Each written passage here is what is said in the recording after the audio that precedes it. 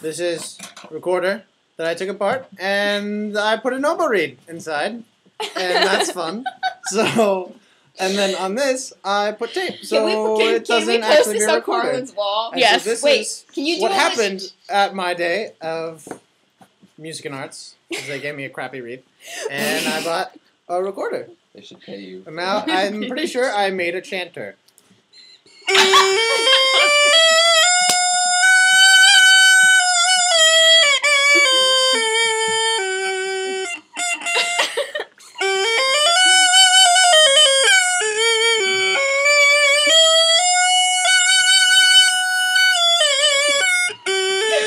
nothing wrong with that